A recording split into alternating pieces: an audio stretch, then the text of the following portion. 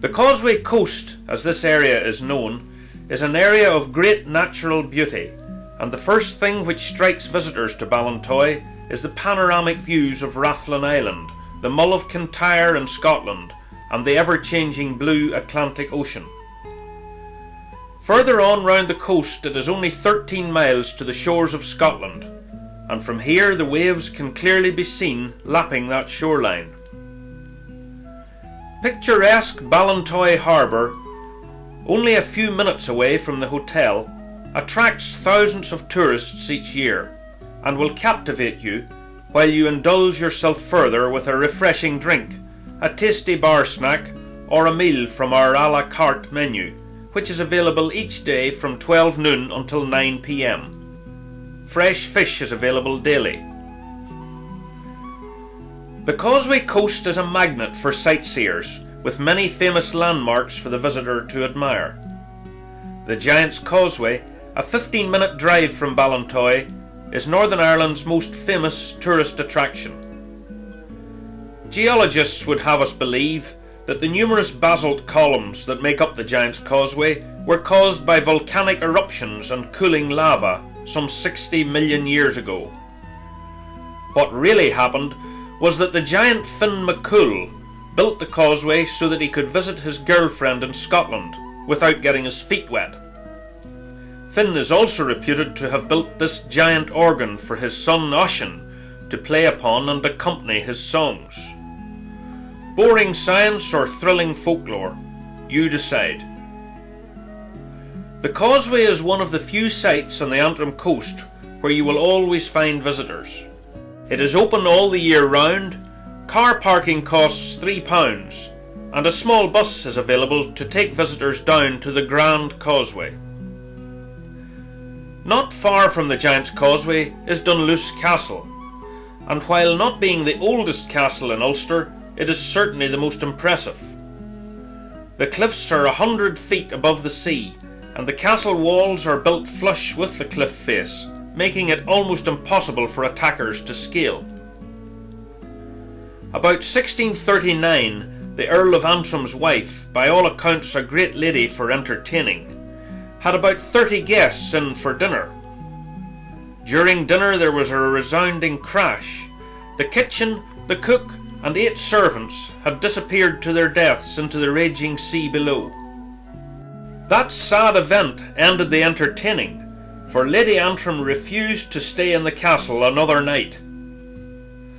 Some 51 years earlier, on the night of October the 26th, 1588, the largest ship of the Spanish Armada, the Girona, laden with gold and silver, struck rocks and sank close to here. Of 1,300 men on board, only five survived. The wreck of the Girona wasn't located until 1967, when a team of Belgian divers brought a thousand objects to the shore, including gold, silver, the ship's anchor, guns, and cannonballs, all of which can be seen in the Ulster Museum in Belfast. The present Lord Dunluce, who lives in Glenarm Castle, was pleased to show us this large trunk washed ashore over 400 years ago and said to have come from the Girona. Just around the corner from Ballintoy village is the Carrick Reed rope bridge. The word Carrick Reed means the rock in the passageway and refers to the path taken by the salmon as they make their way back to the rivers of their birth to spawn. First erected 250 years ago to enable the fishermen to get to their work, the rope bridge is 90 feet above the sea, and crossing it is not a task for the light headed nor the faint hearted. One should take comfort, however, that in two and a half centuries only a dog has fallen off, and that was in the days when there was only a single side rope to hold on to. Crossing the bridge is commonplace today, and after the causeway and Dunluce Castle, Carrick-a-Reed Rope Bridge attracts the most visitors to this fascinating corner of Ireland.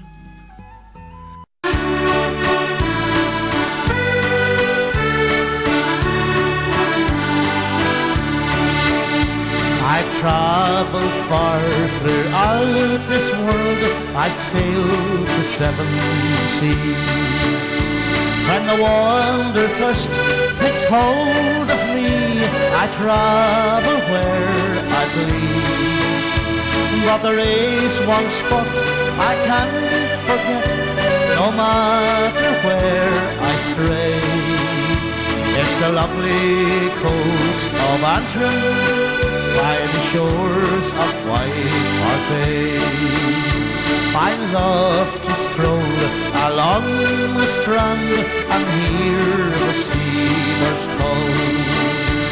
While the lofty cliffs of Bengore Head stand stately over all. Or watch the sea in angry mood and listen to the roar of the breakers as they tumble while racing to the shore. From down limestone cliffs pours a clear crystal stream.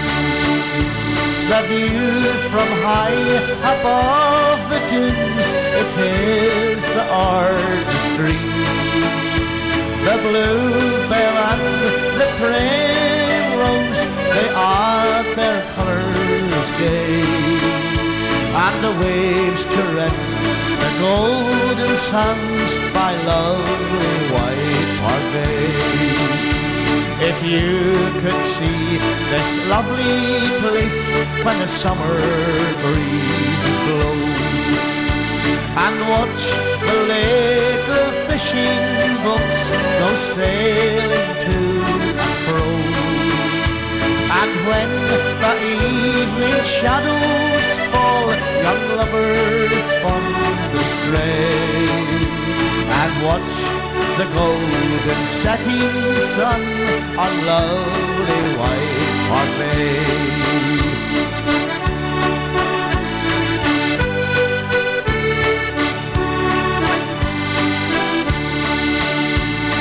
Leaving off this lovely place, it fills my heart with pain.